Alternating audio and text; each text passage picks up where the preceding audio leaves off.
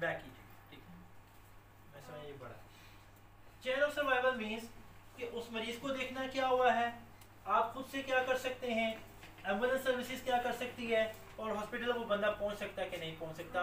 ये all chains एक दूसरे के साथ अटैच हैं, और these chains are called your chain of survival उस बंदे को बचाने के लिए, उस बंदे को ज़िंदगी में वापस लाने के लिए आप चेन ऑफ़ सर्वाइवल का सहारा ले रहे हो। अब, समझने की बात यह है कि अब हमने यहाँ पे ये समझना है कि अब इस विक्टम के साथ हुआ क्या? है तो सारे वो केसेस हम डिस्कस करते हैं, जिस केसेस के अंदर हमने ये देखना है कि हमारा विक्टम इस वक्त कार्डिक अरेस्ट में गया या नहीं गया।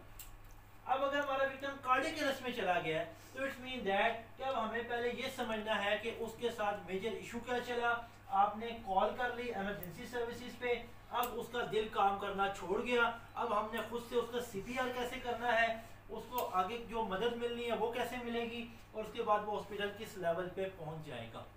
क्लियर ये चेन एक दूसरे के साथ मिली क्लियर जी? अब ऐसी सिचुएशन कब आएगी जिसमें उसका दिल काम करना छोड़ेगा? कार्डिक अरेस्ट में। और क्या सिचुएशन हो सकती है? एक्सीडेंट हो सकता है वेरी गुड बंदा गिर भी सकता है। और क्या हो सकता है। हार्ट अटैक हो सकता है। डूब जाना।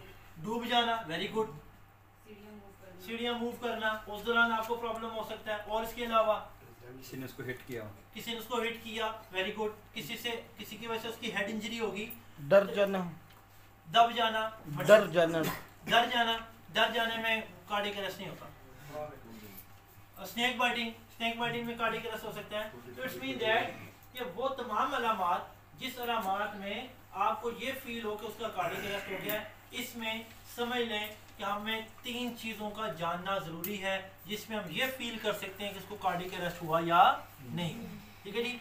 सबसे पहली चीज़ है लिख लें आप इसमें